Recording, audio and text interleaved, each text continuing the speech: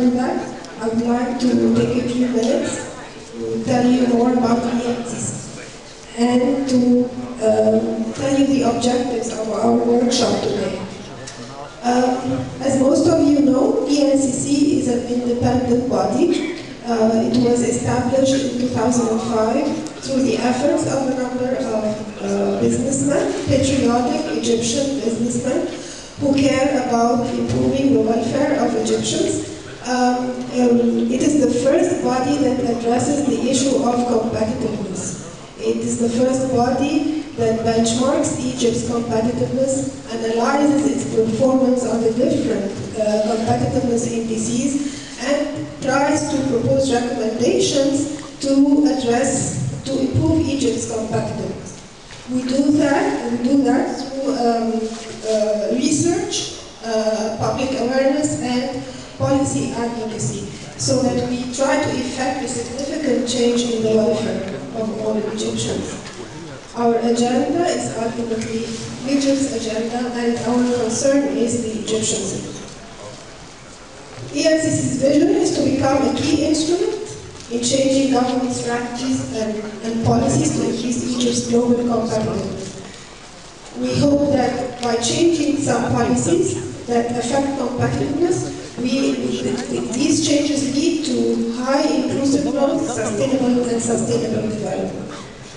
Our mission is to be an efficient and effective uh, platform that brings together civil society, government, political groups, business, and academia in order to raise awareness about competitiveness and advocate policies that enhance competitiveness and inclusivity. Today is um, today is a platform like this where we, uh, we invite the people in the industry, where we engage with different stakeholders, with, uh, with political parties in order to see how we can improve Egypt's competitiveness in the tourism sector.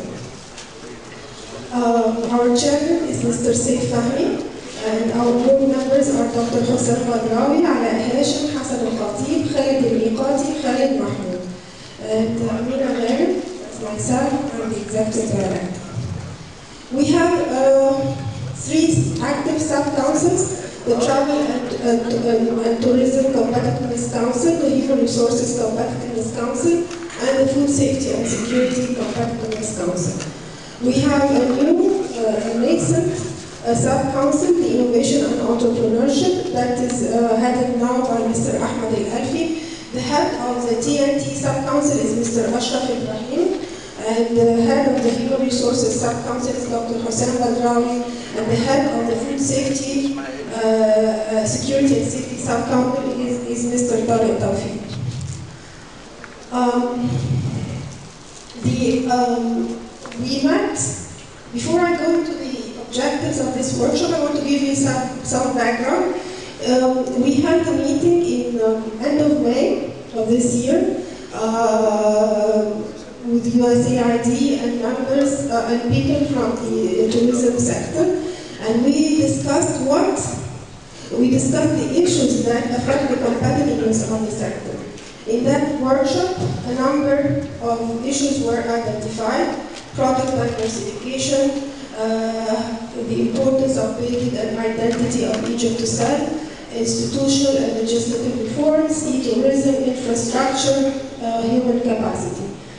Um, we also, at our annual conference that took place on September 18, and uh, uh, our keynote speaker was His Excellency the Minister of Tourism, Mr. Hisham Zaazou. He laid his vision at that conference uh, for, the, for improving the competitiveness of the tourism sector. And, and, and, and, and, and we, uh, we, we, we prepare a strategy and an action plan uh, for, to, to reform, uh, to, to do the necessary reforms to improve competitiveness. And actually this workshop is, uh, we, we, uh, is, is based on, we're holding this workshop today based on this request. And uh, we have today two renowned experts on tourism, uh, Mr. Richard Banks and Mr. Matt McNulty. We hope that today we can identify the components of the strategy and action plan with a specific focus on e-tourism, new marketing and branding of destinations in Egypt. To support these um, reforms, uh, the, the uh, components of the strategy, we need to identify some institutional reforms and capacity building needs that, uh, that have to take place. And, and so by the end of the day, we hope to, to to identify these co the components of this action. Um, I, one final thing I um, want to say is um, in the presentation of Mr. Ashraf Ibrahim, you will notice that the, the competitiveness of Egypt has been deteriorating even before January 25. So I think that now is the time, now is the revolution um, will enable us to make the changes that we could never uh, make before. I think we should capitalize on revolution and, and really address the issues that impede com the competitiveness of the tourism sector. Um, uh, before I, I just uh, walk you through the agenda, I would like to thank our uh, sponsors, USAID, uh, for, without whom uh, this workshop would not have been possible today. Uh, SIAC, Sarmadi, Aramex, uh, Sadat Group, and I think الأهلي والتنمية I'm sorry I can't read للتنمية العقارية I'm sorry um,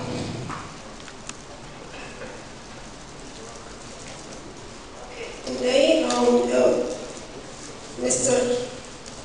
We will start with the Minister, uh, we'll first start with Saif, we'll say a few words, then, then Ashraf Ibrahim, the head of the, sub, of the Tourism Sub-Council, then His Excellency Mr. Hisham Saratour will uh, uh, do the keynote speech, and then we'll have Richard Banks and Michael Marty later on speak about e-tourism and developing the tourism sector for economic and social success. Thank you.